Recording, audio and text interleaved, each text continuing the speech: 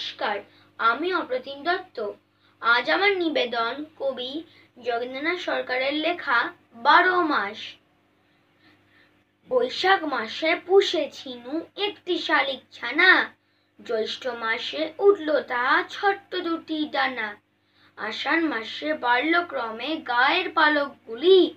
শ্রাবণ মাসে ফুটল মুখে দুই চারিটি পুলি। ভাদ্র মাসে গুহুর কিনে দিলাম তাহার পায়। আশ্বিন মাসে নাইয়ে দিলাম হলুদ দিয়ে গায়। কার্তিক মাসে শিখলো পাখি দাঁড়ের পরে দোলা। অগ্রায়ণ মাসে একেবারে হলো সে হরবোলা পৌষ মাসে থাকতো খোলা খাঁচান টুতির দ্বার। মাঘ মাসে খেলতো যথা ইচ্ছে যথা তার। ফাল্গুন মাসে দুষ্টু বুদ্ধি জাগলো তাহার মনে। চৈত্র মাসে ফুরুত করে উড়ে গেল বনে। নমস্কার, হ্যাপি নিউ ইয়ার টু